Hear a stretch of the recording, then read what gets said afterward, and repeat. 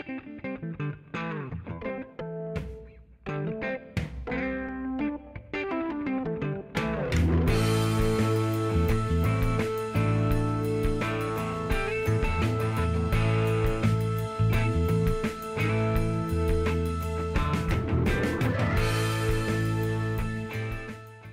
back to Chicago Playwrights, produced by the Clyde Fitch Report in association with Chicago Dramatists.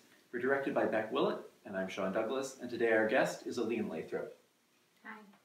Aline Lathrop is a resident playwright here at Chicago Dramatists, where she previously produced her plays Bordello, which was a nominee for the Susan Smith Blackburn Prize, and Feast. Recent projects include developing Aneata 2 with Polarity Theater Ensemble, and developing Trade Show at Route 66. Her current play, Merchild, runs at 16th Street Theater, where it is Jeff recommended. So I'll begin with our usual question What is this play about, and why did you choose to write about it? Merchild is about uh, an eight year old transgender child who dreams of being a mermaid.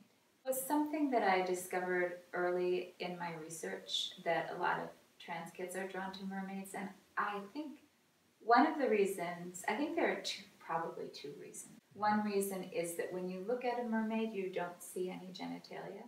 So that sort of just takes it out, out of the equation. That's one possibility. Um, but I think that it has to do possibly with, it certainly does in my play, have to do with the idea of transformation.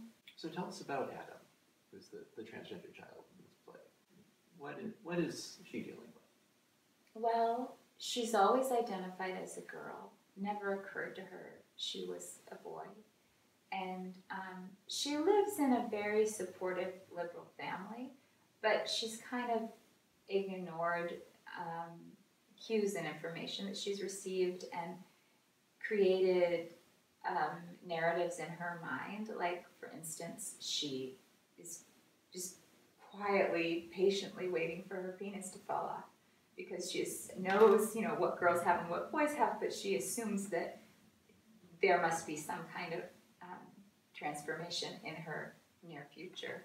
And she lives most, most authentically um, in her play and fantasy life, where we get to see her playing, um, her imagining a life with Prince Eric, who is who is um, conceived from her boyfriend, her sister's boyfriend, who's named Eric.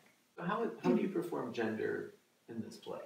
Because there's obviously the, the connection between performance in terms of theatrical performance and then just the everyday gender performance that we all do. Right. So how do you reconcile those? Yeah, so I mean, a question, of course, is how much is gender intrinsic and how much is it performed? Mm-hmm. And I I mean, I think that it is both of those things. Um, so I, I was thinking about that with this play that Adam is a girl. So I wanted, although everyone thinks that she's a boy, so I wanted her to be played by a girl. That was always clear. Um, but that became that has become really interesting in as it has come to life so there's that, that Adam is a girl, so she's played by a girl.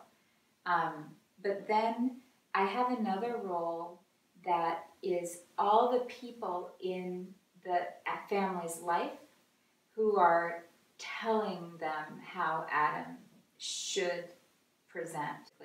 There's a teacher, a psychiatrist, a waitress, um, uh, an intern at the LGBTQ resource center, um, lots of different roles of um, different genders and um, sexual orientations that are all played by one actor because I wanted with that role to explore, on the other hand, not how gender is intrinsic, but how it's performed.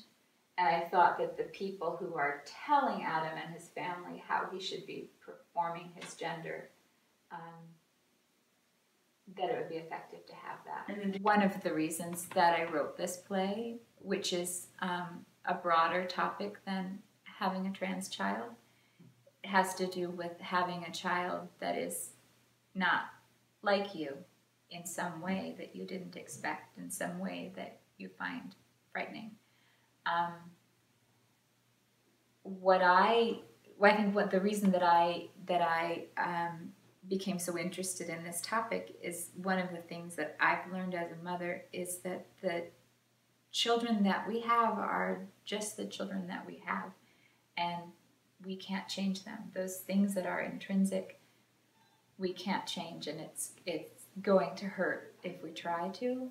So um, I wanted people I wanted people to think about um, what the price of living an inauthentic life is and what the price of trying to force your child into an inauthentic life might be.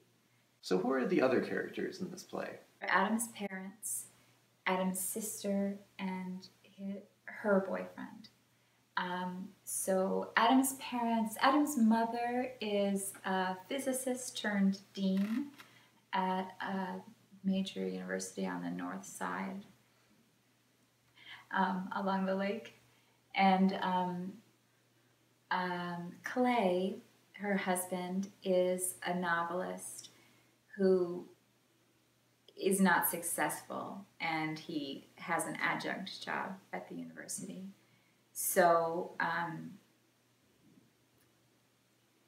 you know, they both, it's a very modern liberal family, a couple who both want to pursue their dreams, where the woman has a much more powerful position in society um, than the man.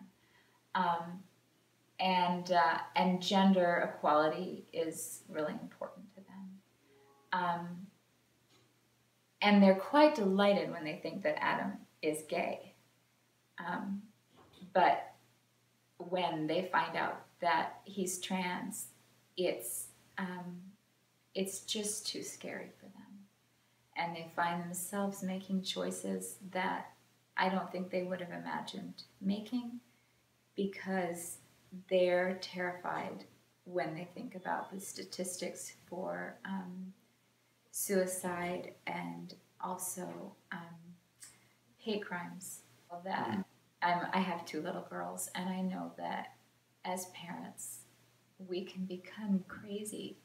Um, we'll do anything to protect our children. We want we want their happy we think we want their happiness more than anything until um, we encounter a threat of physical danger.